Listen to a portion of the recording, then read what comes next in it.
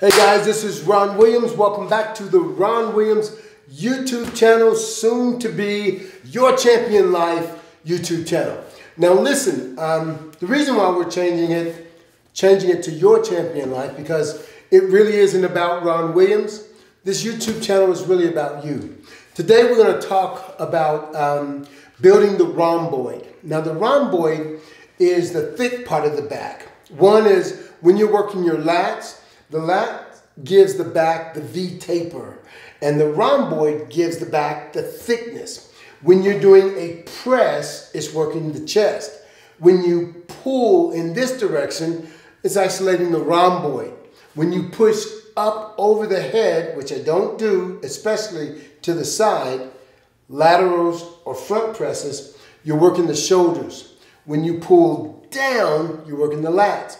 So what we're what we're focusing on right now is the pulling the elbows back, and it's the rotation of that shoulder that's creating the tension on the lat. It's not just the pulling the elbow back, it's the rotation of the shoulder. Remember this, all of the muscle groups are made in an arc. The chest is made in an arc, and when you start here and you squeeze all the way around, to the center, you get a peak contraction. When you start here and you pull all the way back, you're getting a peak contraction on the rhomboid. Remember again, it's a, it's the muscle groups are made in an arc. You look at your bicep, your tricep, your shoulders. All of the muscle groups are made in an arc. So, with that being said, we're going to concentrate on working the rhomboid without working the joint. Now, the reason why that is so important is because the movement of that shoulder is going to determine how effectively you're working the muscle groups that you're trying to work. Now, if I'm doing a lying incline dumbbell row and I'm pulling back, look at my shoulders. My shoulders are rotated forward. So I'm really working in my traps and I'm really going against that joint and I'm moving away from the rhomboid itself. The objective is to start here and start pulling the shoulders. The first movement is not here. The first movement is the shoulders. See, my arm didn't budge, but it's the shoulders. Mm, because it's a rounded movement. So I'm pulling back, shoulders, arm hasn't moved yet. Shoulders, shoulders, now arms uh, to finish it. My arms are and my shoulders are in this position, not in this position. So with the weights, if I just grab the weights and start pulling my elbows back, ooh, ooh, I'm not doing a whole lot of anything but working the joint and moving away from working the rhomboid.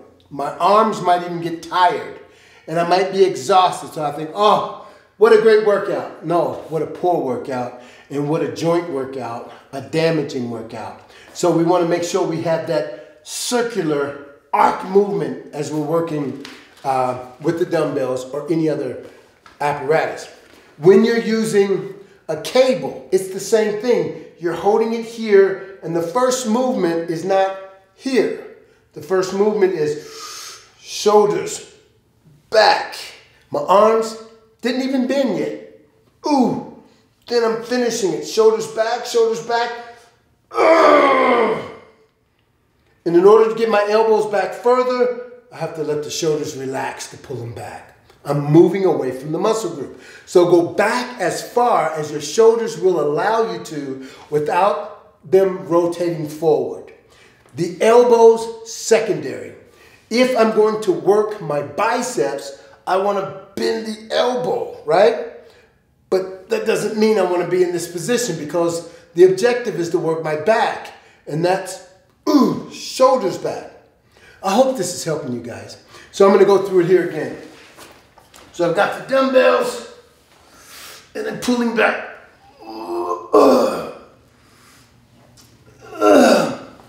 Another thing you'll see that's done wrong with this movement is you'll see people forcing their chin to help the exercise. That's really bad for the neck. It looks like this.